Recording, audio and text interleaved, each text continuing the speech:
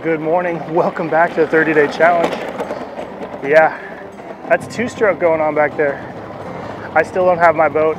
Still waiting on the lower unit to get in. Unfortunately, when I spun the prop, apparently it put like a bulge in my lower unit. I had to order a completely whole new lower unit. so hopefully that'll get in this week and uh, I can get my boat back by Thursday or Friday this week. But it is a beautiful morning. Decided to come out on a lake I haven't fished in a while. Uh, it's got loaded with brush piles. Crappie aren't big. There's a lot of them, but they're just they're not big. That's why I really like fishing the river because there's a chance at some good crappie on the river. But we're gonna go idle around, find some brush piles, and do the double jig setup. I actually fished this setup yesterday on the river. It was a little tricky because a lot of the crappie were stacked up on vertical timber, like pieces of driftwood by bridges, 30 feet out.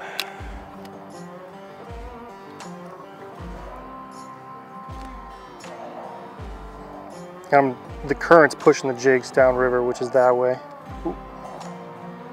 There he is. Dropped it right into him. Ooh, that's a good, that's a good black crappie.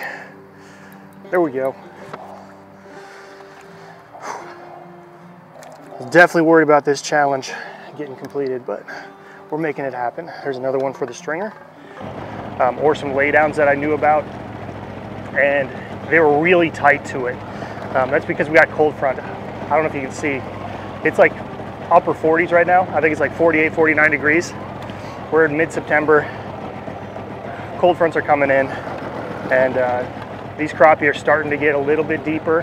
They're gonna hold tighter to pieces of cover, and I'll show you on the live scope. That's all I got today. Uh, unfortunately, the trolling motor on this boat doesn't work. The electrical doesn't work on it, so we got the tiller, and uh, we're gonna throw out a buoy marker, throw it on the live scope, and try to do the double jig setup, but here's how you tie it on. Got some ACC jigs, my jig box. We're gonna do 2 16ths. Um, we're gonna go chartreuse and pink for our jigs. Uh, preferably one that has a, the paint hasn't got into the eyelet yet. Here we go. And this video is sponsored by Crappie Monster. Can go to crappiemonster.com, get 20% off the entire website with promo code DAVIS, that is D-A-V-I-S, all capital letters. And we'll show you the uh, Crappie Monster plastics. Go ahead, slide your first jig up your line and just kind of let it slide up the line for a second. And then we're gonna take our second jig, put it through the tag end, just tie a simple loop knot. You're just gonna double back your tag end to your main line, pinch together, flip it over once, maybe twice, three times, doesn't really matter, but it creates this loop here. And you're gonna put the full jig head through that loop, like that. Now if you want a smaller loop, you're gonna pull on your main line, or your, I'm sorry, your tag end line, and then your main line. That'll create a smaller loop. There you go. Yeah, it's about three quarters inch away from that jig. And now you're going to clip it. And then for our top jig, we're going to put them about six to eight inches apart here. Like that, just double them back over, same thing. Pinch the lines together, flip it over once, create this loop, and then put the jig head through it. And there we go. This one's a little bit bigger of a loop than probably what I wanted, but we'll make it work. Today, we're gonna be working with these. Why is that so dark? We're gonna be working with these guys right here. These are the Crappie Monster Small Fries. Minnow patterns, baitfish pattern. And when we got the double jig set up, it looks like a school of baitfish. Let's get these hooked up and we'll get down there. So like I said, I did catch a few crappie yesterday. Caught a couple of white crappie, which is pretty rare, but for up north anyway. But uh, no, it was fun. Fun yesterday on the river. Didn't catch as many crappie, like I said, that I wanted to. That's why I want to try fishing this lake, because I know these crappie are going to be loaded up on some brush piles. Um, and so we're going to try to catch a bunch on the double jig setup. So let's go find them. All right, well, we found them on the live scope here. Probably should record that for you. I will in a second. Let's catch a fish first. Drop down that double jig setup.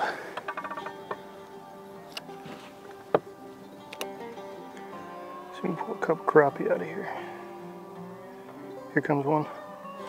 Yep. They're not gonna be big though.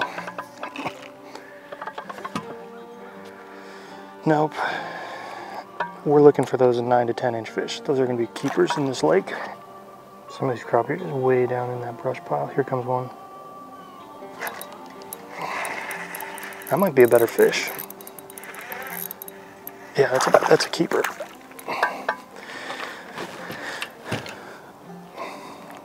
It's about a nine incher. I'll throw it on the bump board here, but I'm pretty sure that's about nine.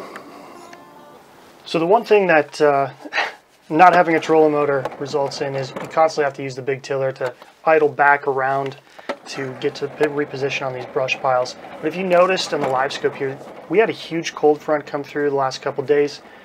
And what that does is actually pushes these fish real tight to cover. I saw that both on the river and on this lake that I'm fishing.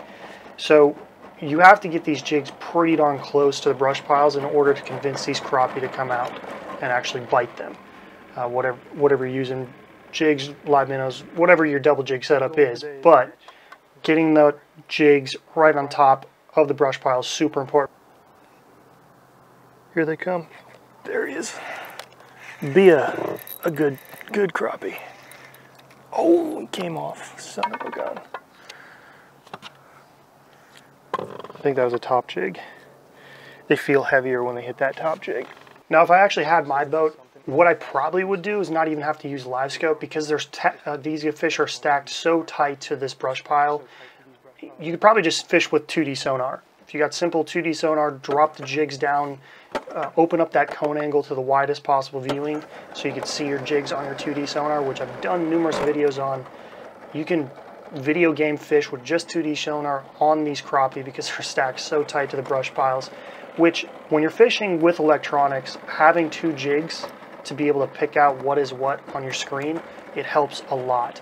Um, so that's one other advantage of using 2D, or of using a double jig setup for either 2D sonar or if you're using live scope or some sort of forward-facing sonar.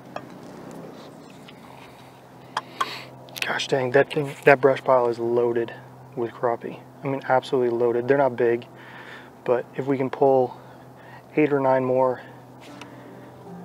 nine to 10 inch fish off this brush pile, I think we got ourselves a decent meal. Like that guy.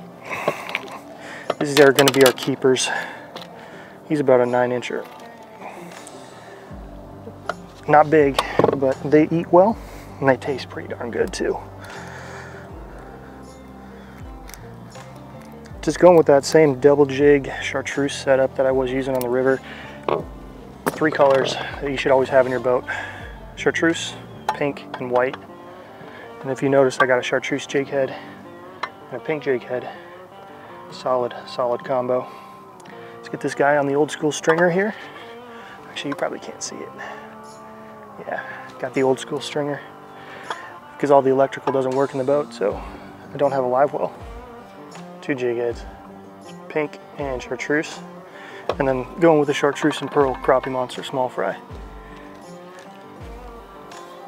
Double jig setup, you can cast it, but it's best utilized just to pitch it out or vertical drag. Oh, there's a muskie on the bottom. You guys see that big fish straight below the live scope? That is a muskie chasing those crappie. There's a lot of guys out here today and most of them are, are chasing after muskie. He's gonna keep two, I think. Uh, now we're gonna throw him back. This is a game of like quarter inches. He's gonna go back. See you, buddy. Now, as the weather turns and it gets very cold, uh, water temps are to drop, and these fish are actually to push off to a harder and soft bottom transition line. And if you can find any piece of cover along this transition line, I filmed a number of videos in the past.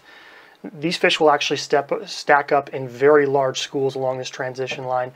Depending on the type of day, if it's a sunny day, they might be spread out away from the brush piles, but if it's a cold front, they're going to be pushed in to these brush piles, as you guys can see here on the side imaging and the live scope. Double jig setups are a great way to fish deep water and fish fast. So using this as we get into fall, into the colder months, it's going to be a great way to put a lot of fish in the boat. Well, that's going to wrap it up for me on the water today. I did catch about seven, nothing big, nothing really to show off, but the double jig setup is a great rig for fall crappie. Starting right now, once these crappie get a little bit deeper, all the way into basically for up north when they ice up, or when our lakes ice up, those crappie are going to be in deep water. For you guys down south, this is a great rig to not only fish in the fall, but all through the winter when these crappie are in deep water. You can fish fast and you can put a lot of bait in front of these crappie, a lot of different color patterns, a lot of different profiles to figure out what these crappie want to hit. So appreciate you watching as always. If you got any comments or questions, post them in the comment section below, or you can message me on either Facebook or Instagram. I always appreciate hearing from you. Good luck on the water this season. Hopefully you're enjoying the 30 day challenge. More to come in the next one.